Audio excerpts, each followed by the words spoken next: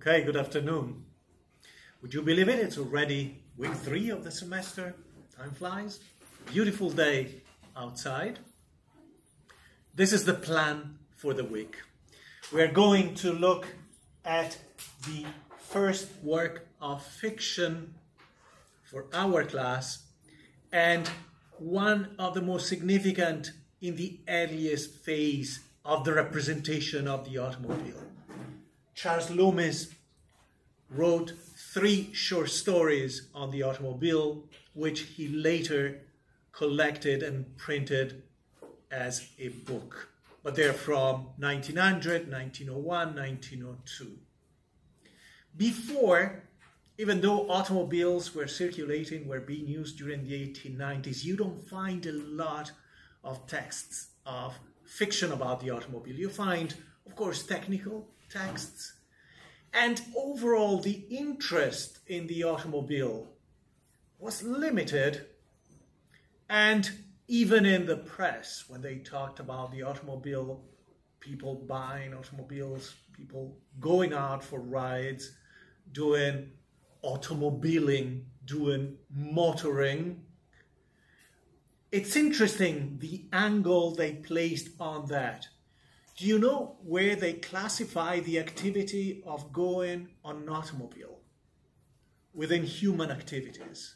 Any guess? It's a very different kind of classification in terms of the taxonomy of social activities compared to how we view automobiles, cars today. Any guesses? Clearly what I'm getting at is that it wasn't classified under transportation. No. Transportation, if done reliably, had to be done with other means, right? I was going to say, was it like play to them? Like close. close. It was a pastime, but it was placed within the area of other ways to other pastimes. Specifically, which ones? It was considered a sport. It was considered a sport because the emphasis was on the physical activities involved in riding on an automobile or driving the automobile. Because you really had to be able to tolerate the speed, exercise your breathing because you were on an open top car speeding, and the idea was that you had to actively breathe in order to capture the air that was coming at you and going away from you at speed. So, automobiling was grouped together with tennis, horse riding, badminton, anything that the upper classes were practicing as sports during that time.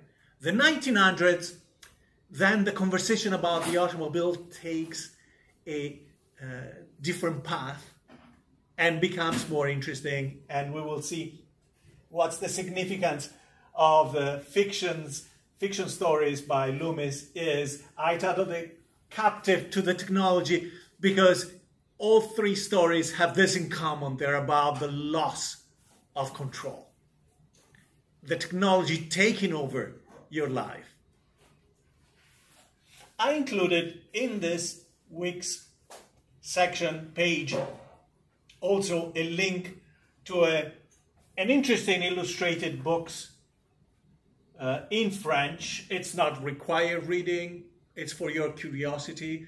Uh, many texts were published during the first 10, 12 years of the 20th century about children and cars or children literature with animals, for example, uh, driving cars. We're not going to go into that, but I thought I would widen the horizons and include something different. The film will be watching scenes from this week and the next is a wonderful film. In a way, it is closely connected to Herbie. Bumblebee from 2019 is one of the best in the Transformers series, together with the first and the second film. Didn't much like the last one, for example. Very formulaic, very templated. Bumblebee, in fact, could be a standalone film. You don't really have to have seen the previous films in the series to appreciate the film. And I said uh, it is connected to Herbie, to the Love Bug and the Herbie series of movies, because in this film, a female female high school student finds a yellow beetle and starts restoring, uh, working on this car. Unbeknownst to her, the yellow beetle is in fact a transformer who has found refuge on Earth and who was hit in a fight between different androids and uh, therefore transformed into a car but couldn't change back into its robotic form. Through their newly established relationship, Charlie and B127, nicknamed Bumblebee, will each find their strengths, ways to build their identity, and get to the other side and uh, become mature, become full fledged members of their own communities, and, and therefore get to their futures. Very nicely directed and acted as well. A few announcements just to start. I added to your Google Docs the grades and sometimes comments for the notes you took during the first uh, sequence of scenes from The Love Bug. I don't find it necessary to, for, for a few notes, exactly say B minus or A or C plus. And therefore, what you will find is next to uh, the title of the notes in your Google Doc will be excellent, very good, good, or adequate. And these are the ranges. Sometimes I did add comments if I thought the comments were significant, such as try not to be so descriptive, or try not to include just your reaction to the film, try to read or interpret the film, etc. And of course, if there are no comments and you would like comments, if there are comments and you, you think they're too cryptic, just let me know. Email me, come and see me in my office, and uh, we can talk about your notes. And of course, I'll proceed and do the same with the next set of notes. I also reviewed and graded all the copies of the first assignments, assignment which was due last Friday, and left comments, grades. If you find several comments next to the text, because I wanted to comment specifically on a passage, once you've read those comments, feel free to complete them and send them away. Just please leave the comment with the grade. Nothing happens if you delete that because it can be retrieved and also because clearly I have copied the comment with the grade, but it's easier if you look at your Google Doc and how you did during the semester, or if I did do so myself, it's easier to have a sense of your progress or lack thereof. You find here a mention of the third lecture's video, but in fact, even the fourth has a video. It's just that from now on, I will not be posting announcements every time I post a video of a lecture. You know that usually the next day, worst case scenario, by the end of the week, every lecture um, has a video in case you miss a class. And of course, if you added to the class during the uh, last few days after Thursday, please go find those videos, watch, and then come to me with questions. This is where you normally find the videos. In the lectures and readings page, there is one page assigned to each week. And inside that page, every time, you find sections with YouTube videos from different semesters. I've included past semesters as well, because sometimes I can refer to them and say, as I've done in week two, if you want to have a detailed overview of this presentation, go to last year. And this year, I only focused on two or three of the main concepts. And inside the page itself, you will find the videos embedded. But then, of course, you can watch them on YouTube if you prefer, or you can go straight to YouTube and look for my handle, which is Dr. Andrea Fedi, SBU. Sunday, the forecast is good weather, sun. So if you're around, if you live on campus, if you're uh, close to the campus, come and see the concorso. We have more than 50 between vehicles and motorcycles, all Italian or with Italian parts.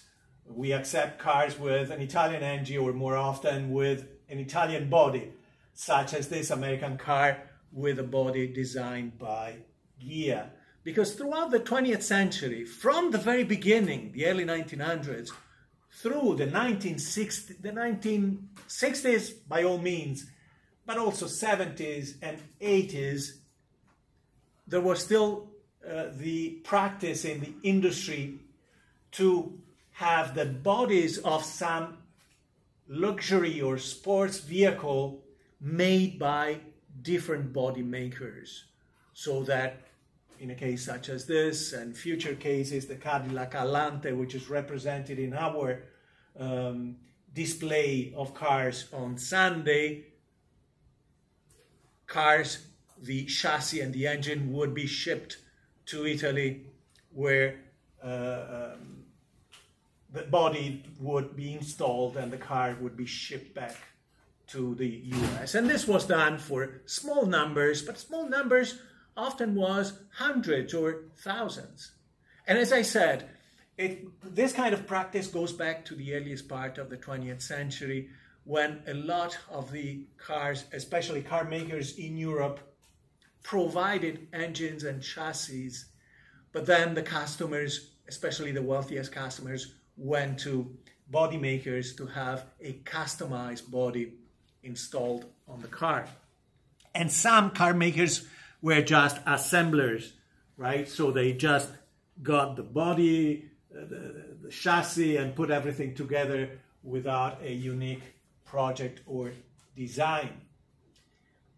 Before we talk about Charles Loomis' short stories, I want to go back to this introductory presentation just to insist, let you understand that there are important ideas in here and I just want to focus on a few of them and then you can review. It's a reading, it's a required reading, so you can review everything yourself. These are some of the uh, core concepts and in here you find also the kind of terminology that you're supposed to use in assignments if relevant, in the final exam for sure. So what is a technology?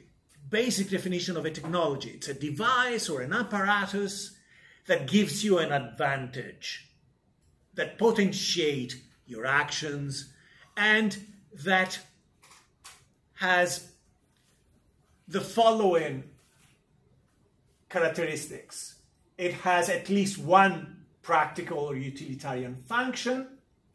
It is developed, not found, and after it is first invented, it can be further enhanced. So there is an arc of development where the technology is developed, perfected, and then it can plateau, it can even uh, fall out of fashion, not be used any longer, or uh, technology can be forgotten. There are societies from the past where technologies were used and then forgotten when with the fall of the roman empire for example a lot of the technologies that the romans were familiar with were lost to european societies and were rediscovered later on after the year 1000 for example.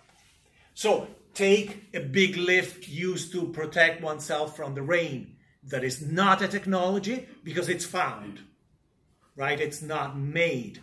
However if you take several leaves and you weave them together, and perhaps you add a stick to build a rudimentary umbrella, that's a technology. And clearly, it can be perfected to modern umbrellas, which date to the 18th century, and then you can find minimal improvements up to uh, today, right? Pocketable umbrellas, etc. Because otherwise, if you limit your use of this device, the leaf to protect from water, to finding the leaf, put it on your head, then even a primate could do it. And there are several examples of this nature. Now, we are dealing with the automobile, which is both a modern technology in terms of its representation and a personal technology by personal or individual technology, I'm not referring just to the personal use of the device or apparatus.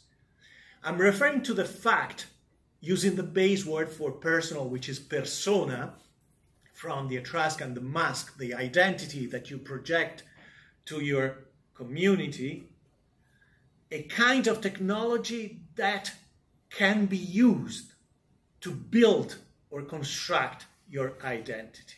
Or can support that kind of process of identity building and construction.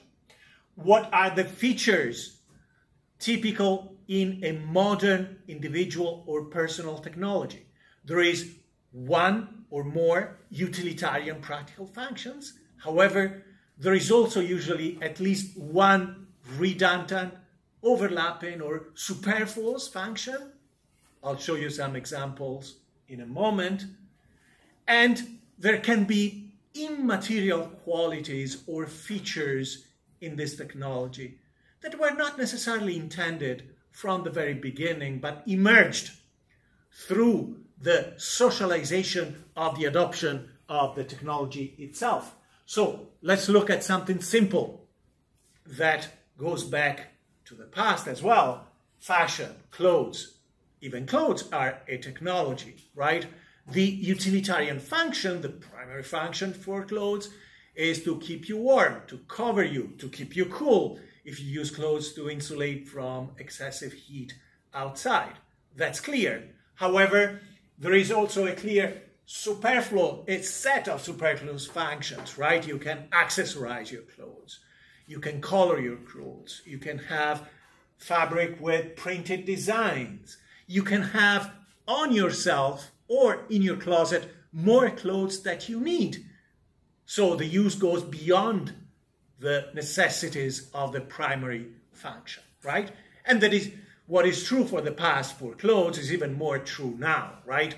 Even members of the middle class 300 years ago would wear and use the same dress for three, five, seven years. We have anecdotal evidence from journals, right? Those clothes would get repaired.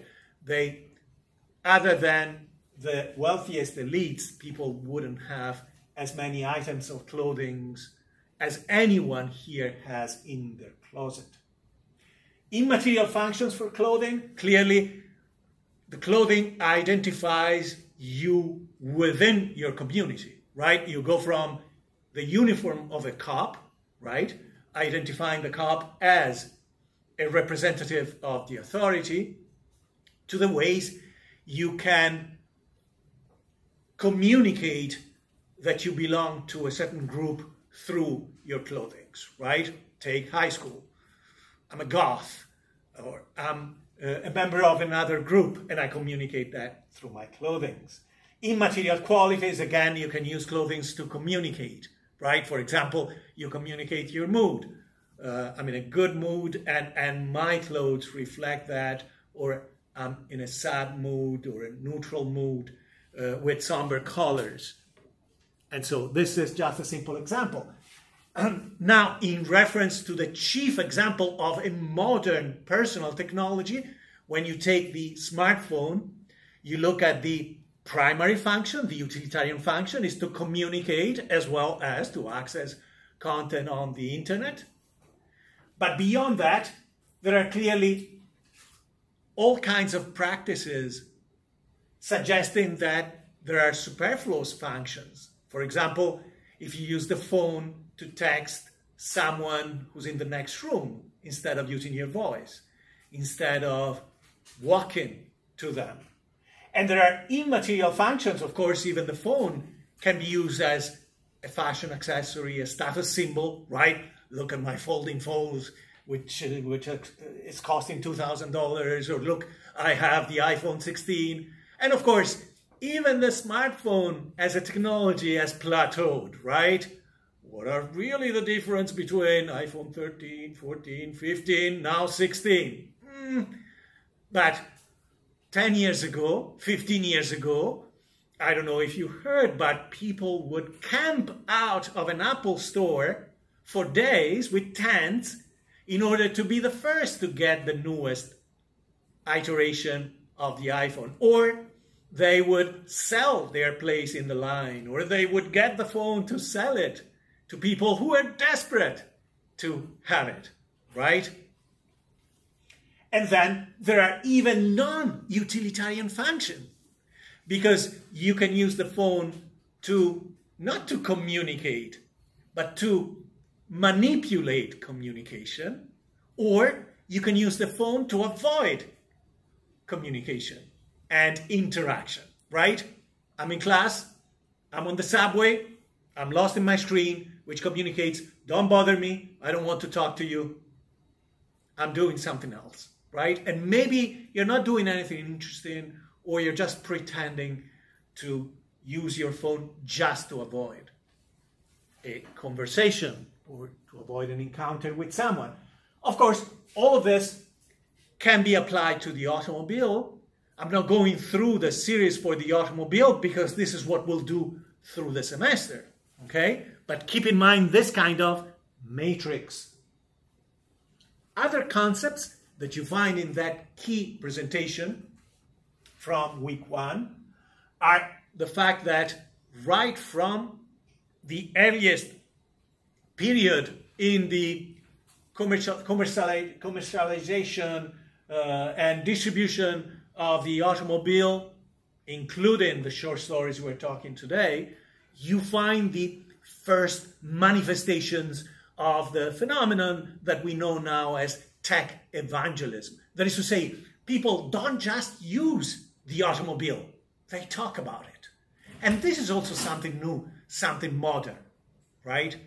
They talk about the qualities of the automobile, how exciting it is to own or to use an automobile in a very tribal way, right? You can recognize the people who are obsessed with this technology the same way that not now any longer, but perhaps five years ago, you might have seen people who belong to the iPhone tribe argue with people belonging to the Samsung slash Android tribe about the virtues of their phones and comparing and uh, entering into a kind of contest, competition, rivalry uh, about that.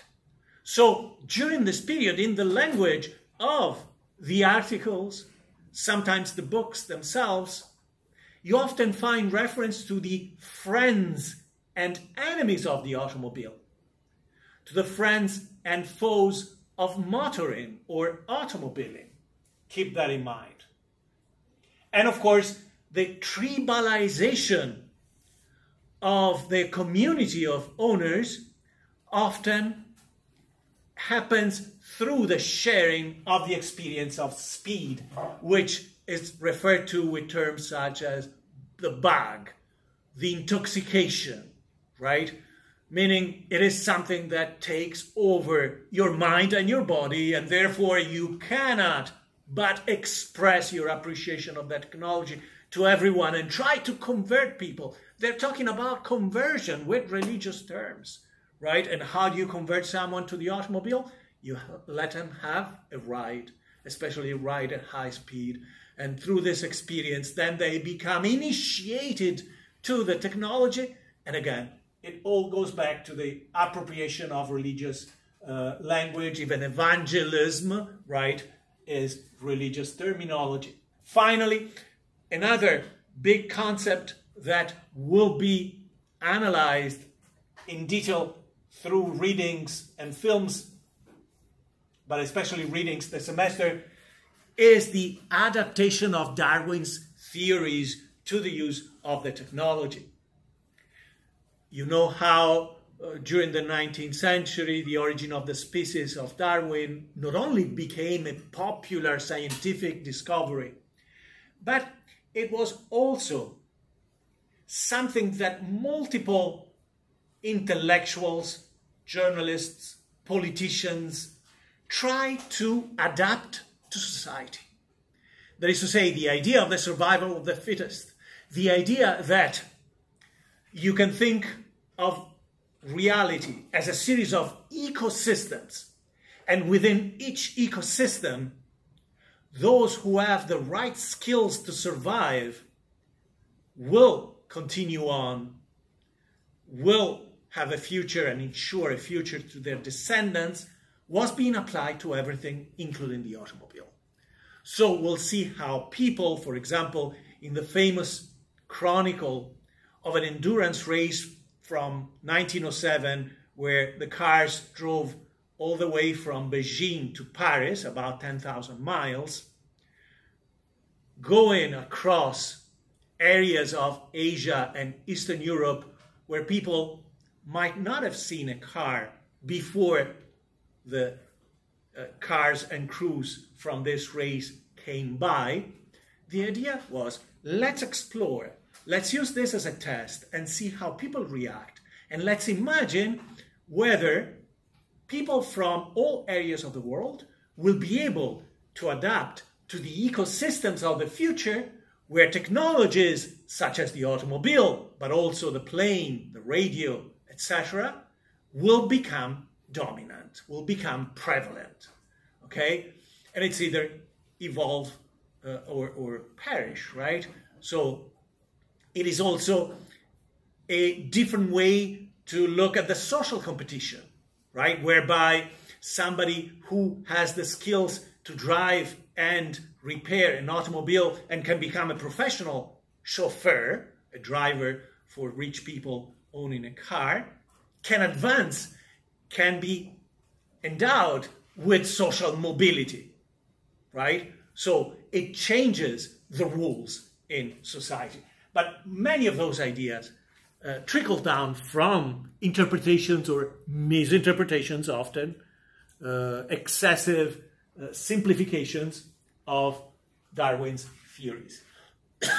Interestingly, the time when the automobile becomes popular between the end of the 19th century, the beginning of the 20th century, is also the beginning of the history of feminism. And before it was called feminism, during the period in question when uh, the texts that we're reading uh, were composed, it was called the New Woman Movement. And this movement embraced technology because they saw early on how this technology eliminates the gender gap.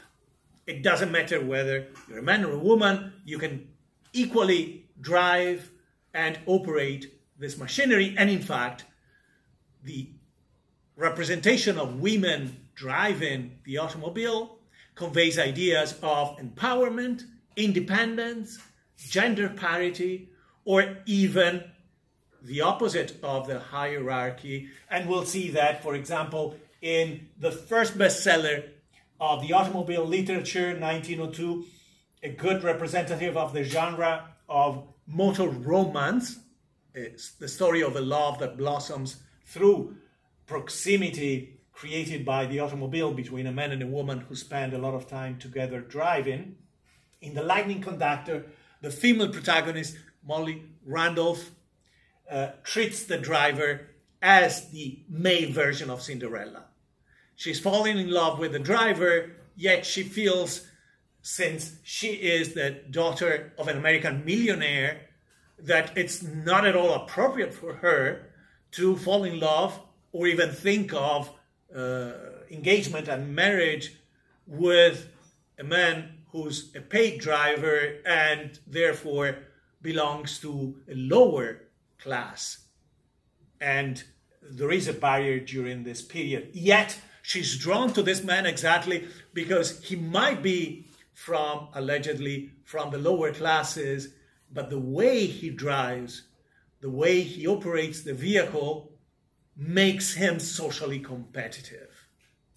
And the way he behaves himself shows that he has a kind of natural leadership, natural leadership being one of the most common trickle down concepts from Darwin, meaning, are you an aristocrat, a member of the upper classes, but do you have the natural skills that are associated with leadership? Or you just inherited the name, the wealth of your family, but in fact, you belong to the bottom of the social hierarchy.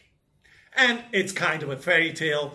Uh, by the end of the story, she will find out that the chauffeur is in fact a British aristocrat who pretended to be a paid driver just to spend time with her while she was touring Europe with a chaperone, her Aunt Mary. And here we come to today's presentation and the texts that we're going to look at, analyze, discuss, and read this week. Um, as I said before, Charles Loomis published these three short stories in a booklet that I own uh, from 1907, but the original stories were published in magazines in 1900, 1901, and 1903. Uh, keep in mind that during this period, this was one of the best periods for magazines, especially magazines with short stories or long articles. People, compared to today, spent, of course, by, by this time, there were more people who were able to read, more people who could afford buying uh, magazines. Uh, but people, as their pastime, enjoyed, spent a lot of time on two activities. One, going to the theater, look, seeing plays, musicals, etc. And the other, and, and in fact, pretty soon there was a musical on the automobile and plays on the automobile. The first musical in New York City was based on the Vanderbilt Cup races that took place on Long Island in that era. And the other activity was reading. And therefore, you could make a good living, you could sell a good story for good money. And this continued through the 1910s, 20s, and 30s, especially because after the 1910s, a lot of these stories could be sold to the movie industry, and the movie industry based their scripts often on popular short stories or novel. About thinking about the 1930s and, and 20s and 30s, for example, Francis Scott Fitzgerald, the author of The Great Gatsby, made a lot of money selling short stories, not just his novel. And then he himself tried to go, well, he went to Hollywood trying his a, a, new career at screenwriting, and that that fizzled and failed. So Charles Loomis was uh, born in Brooklyn, uh, went to a technical high school, and then worked for several years. He was born in 1861, died in 1911. The last 20 years of his life, between 1891 and 1911, he made a living writing short stories that he would sell to different magazines. And then every other year, more or less, he would collect the best of those short stories, put them together in a book, and sell the book, as he did, for example, for the book entitled Araminta and the Automobile. What do we have to focus on? Keep in mind that during this period and often later on, narratives about technology, including narratives about the technology of the automobile, follow this pattern. What is the arc of the story? You start with anticipation of the technology. right? Before the technology comes into the life of the main characters or comes into the story, giving it a twist. And anticipation can have different formats, different forms. Uh, for example, it can be positive, it can be seduction, right? Meaning before I get the automobile, I'm looking forward, I'm thinking about my motivations, or I'm or I'm building up motivation to purchase, to make this big purchase, right? Because during this period, we're still talking about an automobile uh, uh being as expensive as a small apartment. The second phase after anticipation, which can be seduction or can be fear, right? Could be the signs of doom and disruption that will be brought forth by a new technology, as we will see in a science fiction example uh, soon, next week or the week after that. The second phase after the seduction or anticipation is the actual use of the technology but that is often represented as either rapture or immersion. Rapture because you are taken over by the technology, you are intoxicated, you become obsessed with the use of the technology, you become addicted to the use of the technology. And again, now we're talking about the automobile, but it's easy to correlate to modern technologies, especially the smartphone. How addicted are you to the smartphone? How many hours can you go without your smartphone or days? How many hours can you go or days without the internet, right? And you know how in several countries there are popular camps where people go to detox from technology, where they have to spend two or three days without their phone, without access to the internet, right? Which represent a, a psychological hurdle for a lot of modern day users. I don't know if you're uh, one of those who has their phone not even on the nightstand, but on the bed itself, under the pillow, right? So the second phase can be characterized for new technologies as rapture. You are completely taken into this. Or it could be, in a more neutral sense, immersion in the technology. Meaning, whether you like it or not, you find yourself surrounded by the new technology and you have this exposure, this prolonged exposure to the technology with some good effects, some ill effects. Or it could be what I described before as captivity, meaning you experience a loss of control, which is not due to the fact that you're addicted to the technology, you're taken, you're drawn to it, but rather that the technology itself replaces the circumstances of your life and places you in a position where you have less control over your life, right? And again, you can try and imagine modern day example, for example, in the field of automation, where this loss of control can be experienced. For example, automated driving with its good and bad effect. And finally, the third stage for this kind of narratives, we said anticipation or seduction is the first phase, immersion, rapture, loss of control, captivity, the second phase. The third is rejection or adoption of the technology. At the end of the adventure, have been exposed to, having experienced the transformation caused by the technology, I decide to separate myself from it. And interestingly enough, there are plenty of stories where this happens during the early 1900s. So it's not always a rosy representation of the technology. There are stories where a couple returns to the automobile and says, nope, not for us, never, uh, we're not going to use it any longer. Modern films about technologies, especially science fiction or thrillers, where you have evil characters with incredible, incredibly powerful technologies, can have the equivalent of this separation or rejection in the form of self-destruction, right? Think of traditional 007 films, but even the more recent ones are not different. Even No Time to Die is different in that regard, where at the very end, the base where the evil guy and its evil network organization operated with incredibly advanced technology either is self-distracted so that it won't fall into the hands of other people or destroyed uh, by the good guys as in the case of no time to die. And of course the other option rejection distraction is one option. The other option for this kind of narrative for the conclusion is adoption. So now we go on, and our life has changed compared to the beginning because we've embraced this kind of technology.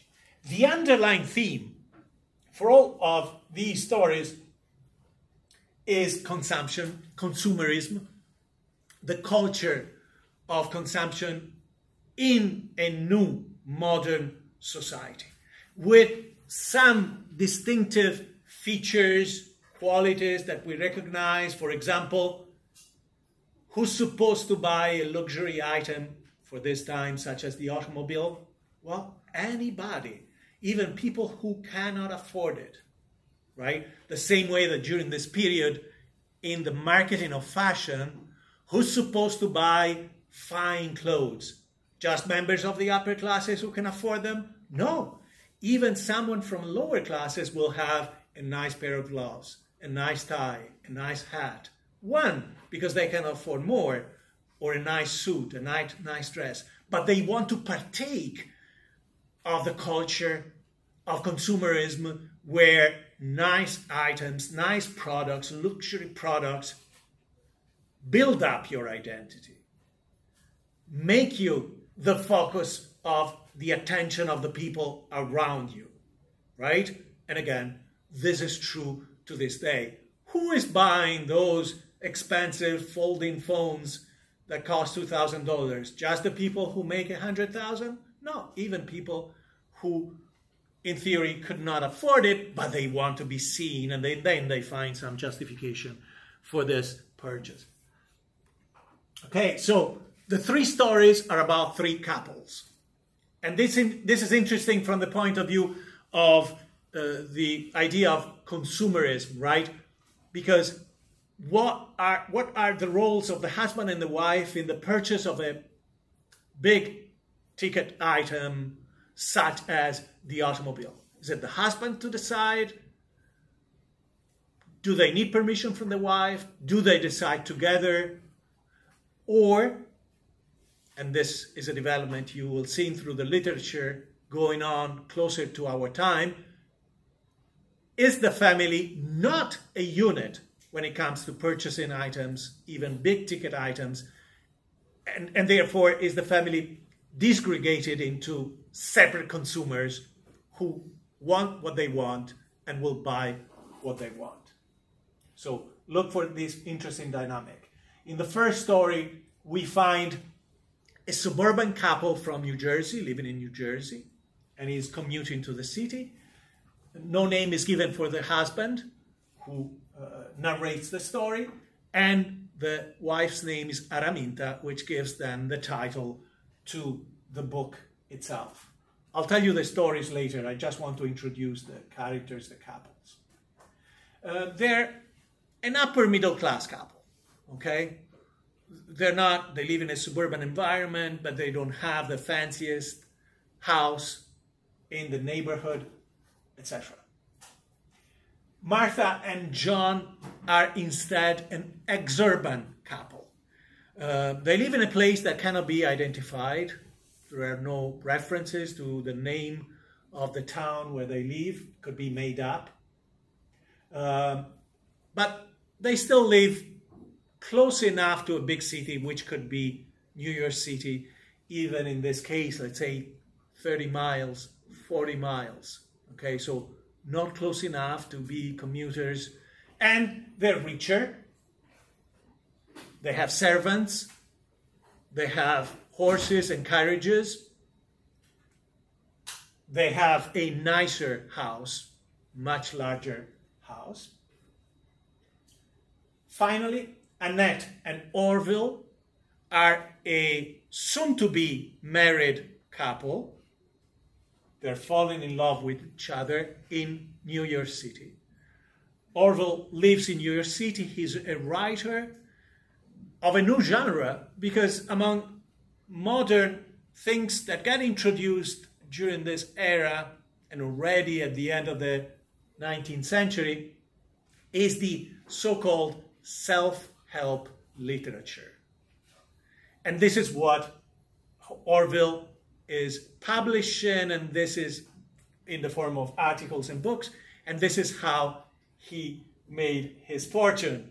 And therefore now he's young, still young, rich enough, and he's about to get married, and he falls in love with Annette, who's, who's from the mid, a young woman from the Midwest, visiting her aunt in New York City, and she's supposed then to go to Paris, and she's visiting exactly because she is the age of marriage and going to New York City to visit her quite rich aunt who lives on Fifth Avenue and 48th Street in the heart of Manhattan, she can get introduced to potential uh, fiancés. Okay? So, and, and, there is always, of course, a car, uh, the purchase of a car and the use of a car in the first two stories, and uh, an adventure with a taxi cab, an electric taxi cab in the third story. So let's talk uh, more closely, more in detail about the first story with Araminta and the husband.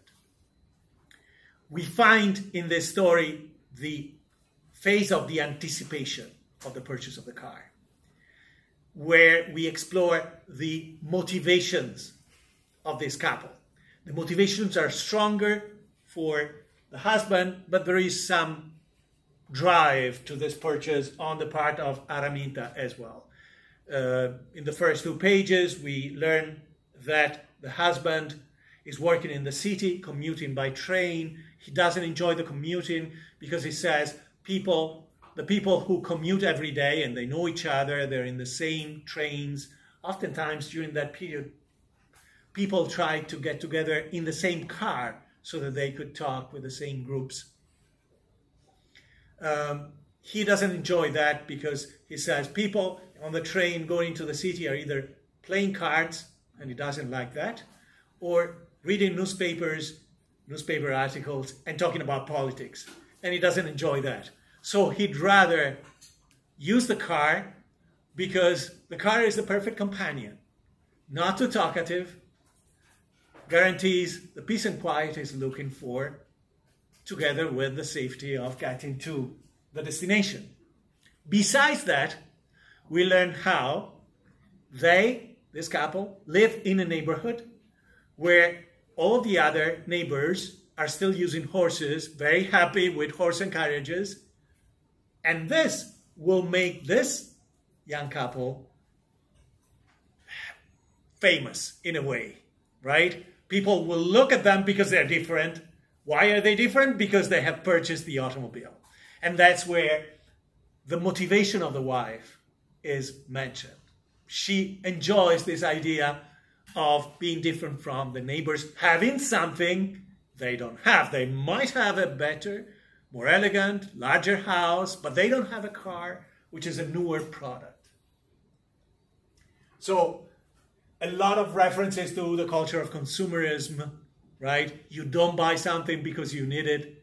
You buy something to create a new lifestyle, change the style of my commute. Not the results, right? Point A, point B, doesn't change much. And the culture of consumerism means also I'm building up my social persona through the purchase of this item. And what happens? To this couple. The car, as they used to do, is delivered to them. So you have to imagine that at some point John went to an agency, uh, either that was the shop of a dealer or a shop where they would sell different brands, various brands, uh, to try the car. But the demos of the car were done with drivers when you went during this period to buy a car, they wouldn't let you drive the car. You you wouldn't know how to drive, especially if it was your, your first car. And um, the, the car sellers would rely on demo drivers, would take you for a ride, and then you would pick a car. The car would then be delivered to your house. But after the delivery, they would not leave you alone with a car if it was your first car. The delivery man was also a trained driver who would spend two or three hours with you, showing you how to drive the car and how to do basic repairs spark plugs, tires, um, lubri- lubrication because you had to add oil frequently with these cars in various parts. It was not just adding oil to the oil tank. No, you had to lubricate parts of the wheels, parts of the suspensions, etc. So, what happens at this point in the story is that John is already feeling more powerful because he has a new car. So he says, Listen, I don't need anything from you. He's looking down at the delivery man, right? And in fact, there is an illustration. I've included illustration in the readings, and the delivery man is represented as a low class people person. John says, Good man, I don't need you. All I need is experience. As soon as I drive the car, the experience of driving, of using it, will teach me how to become a good driver. Okay? And he sends him away. Then he presents the car to the uh, wife. And here you have the progress of the seduction. The car like, uh, is, is liked by both. And even the wife says, Let's go. Let's go out. Let's try it. Which means, let's go out and be seen in our new products, in our neighborhood, and then going to the next village. Incidentally, she had just come back from Paramus, from shopping, so consumerism is mentioned several times. Before they both go out with the car, the, the, the husband, sorry, the husband uh, says, let's not uh, uh, rush. Let me just try it around the house and then you can jump in. But when he turns the car on, he proceeds to destroy the barn where the car was stored, destroys the veranda of the house, destroys the fence of the house because he has no control over the car. Nonetheless, the wife, Araminta, decides to get on the car and they go out on the street. There, they travel towards the next village, then they try to come back, and they'll have one issue after the other. They will have several accidents, for example, an accident with their own family doctor who's driving a horse and carriage, like most doctors in 1900, and the doctor will find himself catapulted on their car, and then he'll have to jump off. By the end of the story, they're not able to return home. The car is clearly going to crash into a greenhouse made of glass, and Araminta will be the first one to jump off the car, and then the husband will do the same. So, this is a story of seduction, clearly, of the technology, and then exposure to the technology in a situation where the users experience loss of control or captivity. They are hostage to the car, which is a theme to all of the three stories and particularly the third one. Okay? We don't know about the third phase. There is no third phase in this narrative, so we don't know whether the couple will separate themselves from the product, reject the technology, or adopt the technology. The story ends just with a joke, with a line by the husband that says, Who knew that uh, the, the most expensive part of uh, the automobile was not getting on the automobile but stopping the automobile because they've caused so much distraction. The second story, The Deception of Martha Tucker, is even more uh, strange. So we have a rich couple, as I said, and the husband, John, tells you that how the issue is not so much that uh, his wife, Martha, loves horses. It's just that she doesn't like cars. She hates them. She is afraid of them. And he says, I could buy the automobile and then I could ride on the automobile by myself. but we are a close couple. We spend time together. We do a lot of things together. So I'd rather not buy the automobile without the consent, the full consent of my wife. So he has visited places in New York City, seen cars, and he comes up with this plan. One day, his wife has a problem with her eyes. Uh, could be poison ivy, something like that. She gets her eyes deeply irritated, and the doctor prescribes the use, which was customary at that time in a case such as this, of smoky lenses, dark lenses that would prevent light from getting to the eye that is already irritated. So, and again, you will see one of the illustrations in the book where the wife has these very dark glasses. So she can see very little. She's not blind, but she can see the shapes. Uh, she, she cannot see all the details. At this point, the husband, since the wife will have to endure those dark glasses with thick lenses for a few days, comes up with this bizarre plan. Goes back to the city, purchases a car, an electric car, presumably, then goes to a store that sells equipment for horse riding.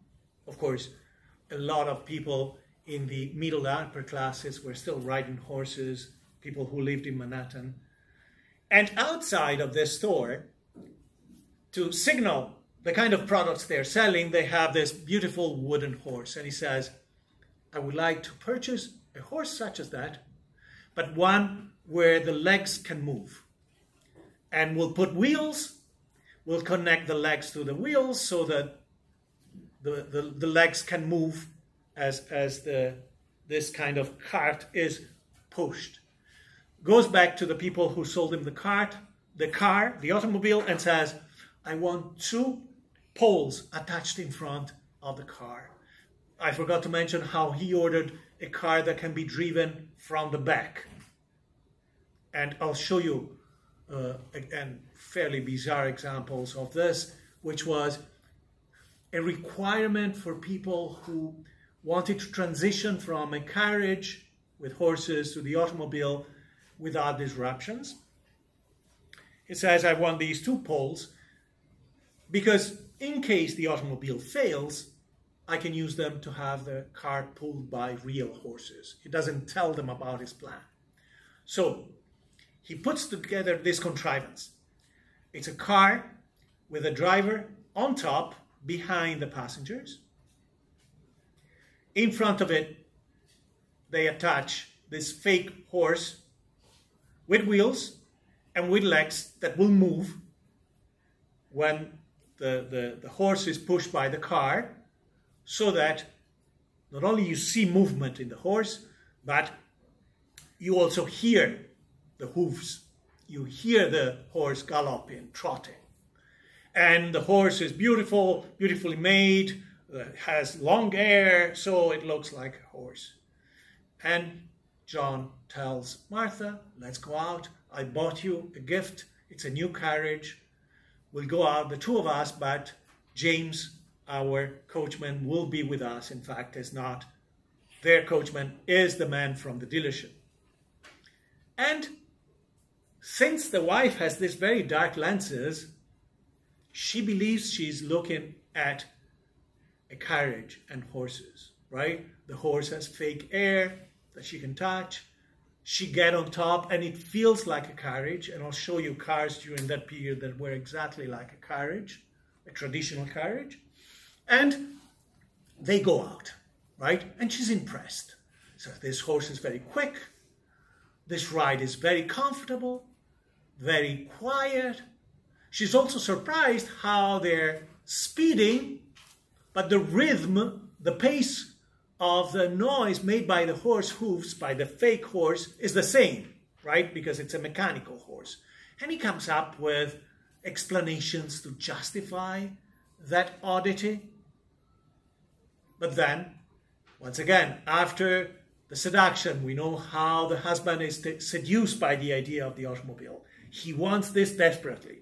Seduction on the part of the wife comes with the comfort of the ride, how this is different from anything, any kind of carriage she has experienced before. So things appear to go well. He thinks that at the end, he'll say, Surprise! This is an automobile. Did you enjoy it? So we'll get one. No, things go wrong. They experience loss of control again. They become hostage to the technology.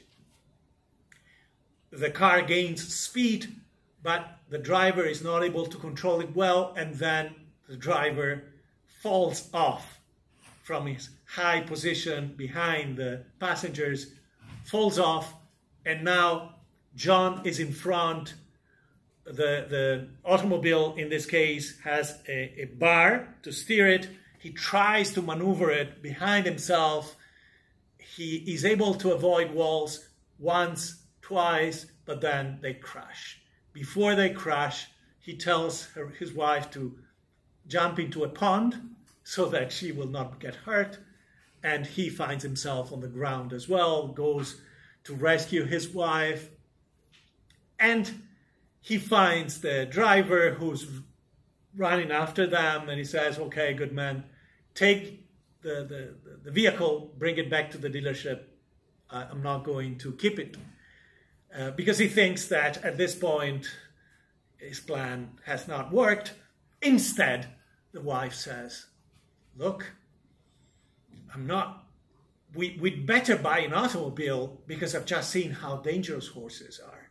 She hasn't gotten any clue that this was a mechanical horse, and therefore she has enjoyed the she, she now comes to consider the idea of getting an automobile and they will enter a new life. So in this case, the third part is hinted to is adoption, right? So you have seduction, you have loss of control, as well as exposure to the ride, to the technology, and then adoption, the third part of the narrative arc.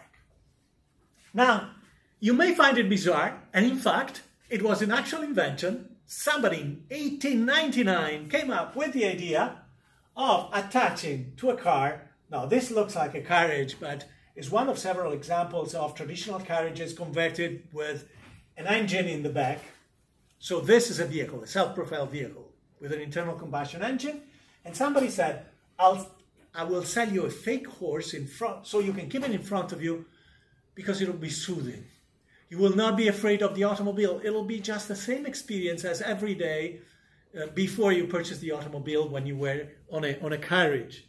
Okay? And you can find out more from the links. This is from the actual patent. This got patented. So this was the component, as, as I said before, initial cars, you could buy just the chassis and then have someone install a body. If you think in those terms, then your body could include this with a fake horse in front of you, just to reassure the consumer, don't be afraid, it's just like any ride, as safe as riding with a horse. Final story Annette and Orville. I said before, they're both young. Of course, Annette is younger. Orville is a successful writer in New York, a bachelor. And they've met each other when Annette, a few months, I think three months earlier, came to New York City to visit her rich and Mrs. Martin. They're falling in love with each other, but they're not sure. Uh, she feels that as a woman cannot come out and say, I'm in love with you. She's waiting for him to move in that direction, to declare his love. He's afraid, he, he, he cannot read uh, the situation well. However, at the beginning of the story, he gets, it's almost Christmas, it's Christmas, uh, and um, he receives a, a note from Mrs. Martin who says, Look, Annette is about to leave. She will go to Paris. And maybe she'll encounter someone in Paris. Maybe she will get proposed in Paris, right? Of course, she's not going to Paris by herself. She, she's going to visit friends, etc. So the letter communicates to Orville, make a move. This is your last chance. Make your proposal. And therefore, Orville goes out, buys a ring. While people are buying Christmas gifts, he buys a ring. Then he is being invited to dinner on the day of Christmas. However, going back to his house from his club, from his circle, he slips on an orange peel, falls, and hurts badly his ankle. So he has, they, they tell you exactly, he lives in lower Manhattan. He has 25 blocks to walk. Clearly, he cannot walk. His ankle is swollen. So, in fact, he cannot even put a pair of shoes. He has one shoe and a slipper on the hard foot.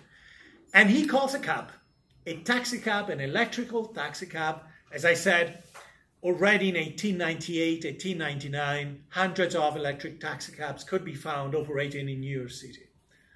The taxi cab arrives, he gets on top, and again, I'll show you then the pictures of the actual vehicles.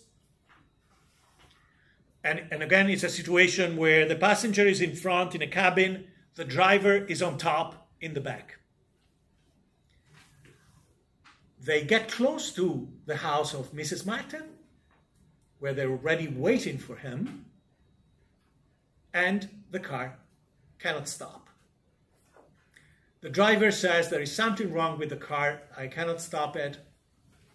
And don't worry though, because the car has been used, and as I mentioned, these taxi cabs would work with batteries that would be replaced at their hub at, at the end of their rides, they would go by the hub and once in a while replace the batteries with freshly charged batteries. He says, don't worry, eventually the battery will discharge.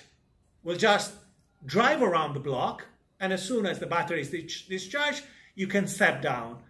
Orville would like to jump, but there is liability, right? The driver says, I don't want to be sued by you because in your condition, you will jump, fall again, and then we'll have to pay.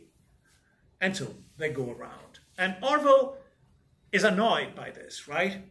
Because he was counting on using the opportunity of the dinner, the time spent at dinner, before the dinner also, to measure the attitudes of Annette to see whether it's in fact a good idea or not to propose at the end of the night. So he's going around, it's getting late.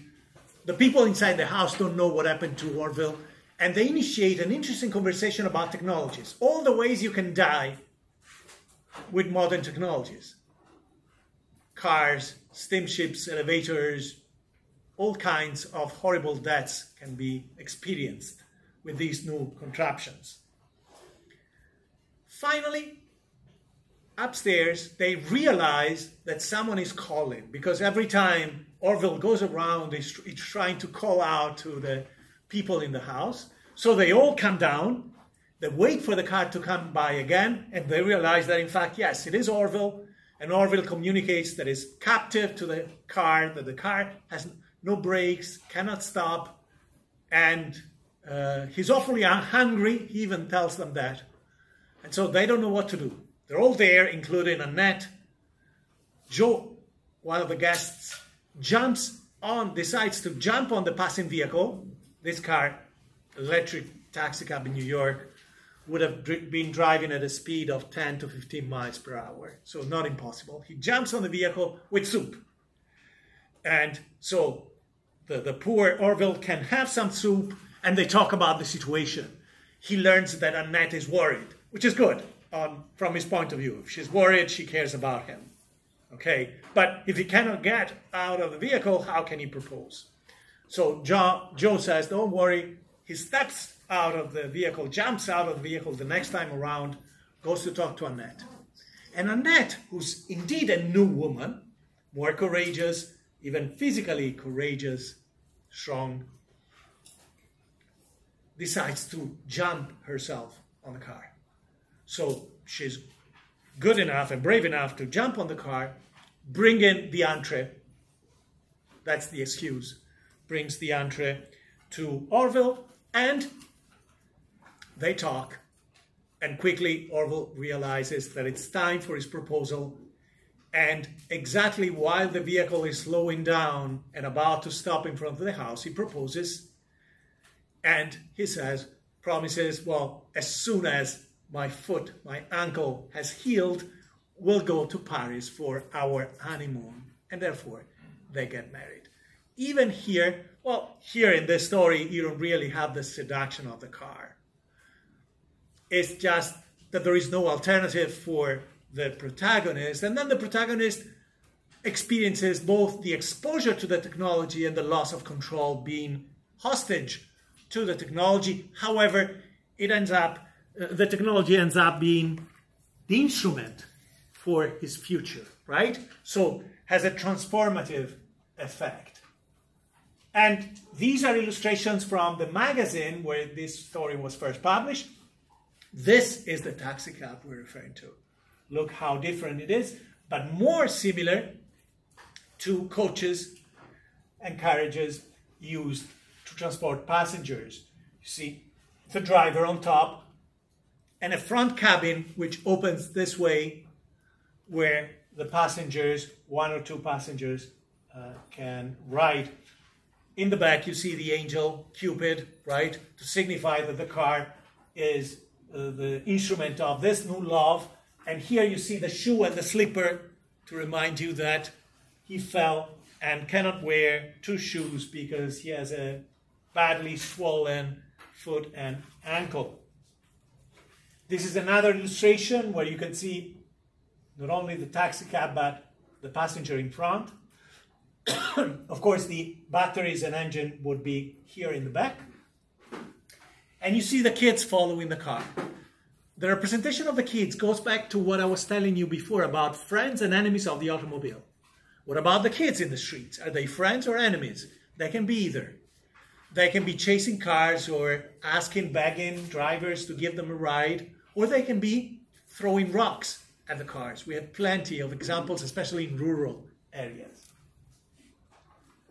And this is Joe with a pot full of soup jumping on the vehicle. So you have a view of the front of the vehicle. This is Orville. This is the conclusion where you see that Annette is playing part of the shy woman. But don't forget that Annette took the initiative of jumping on the car. So she's not that kind of traditional woman. She's very much a new woman already. And this is pro- the proposal. Would you be willing to go to Paris on a bridal trip? And these are pictures of similar vehicles, right? You see here the doors to access the front, the platform where you step to enter the vehicle, the very tall position of the driver, which was similar to carriages, and you see the place for the engine and the batteries. This is even closer to the illustrations from the magazine, especially the wheels, but very similar in terms of technology.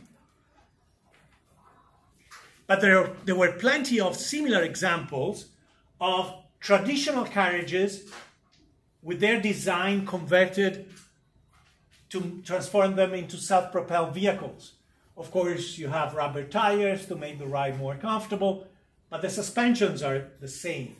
You see an engine here in the back, and once again, you see the front part reserved to the passengers and the driver sitting back, very tall, with this time a steering wheel and limited visibility. But again, we're talking about vehicles driving 10, 15 miles per hour, 20 at most, right? So you don't need much.